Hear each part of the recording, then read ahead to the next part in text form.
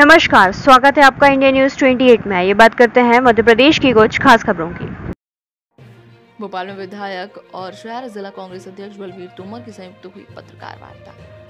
विगत सत्रह वर्षों से लगातार उपेक्षित हो रहे इस प्रदेश का मूल जनजातीय वर्ग उनकी सांस्कृतिक धरोहरों और उनके अस्तित्व पर प्रदेश भाजपा सरकार लगातार चूट कर रही है।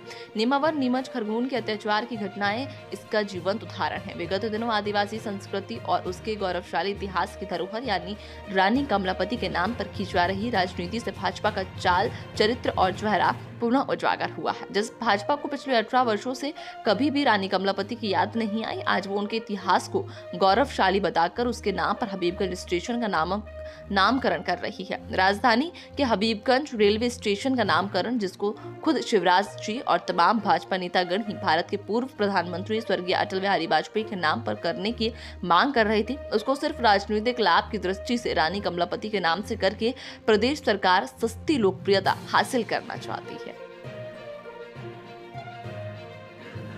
इंडिया न्यूज़ 28 के लिए दीपक बर्थे की रिपोर्ट।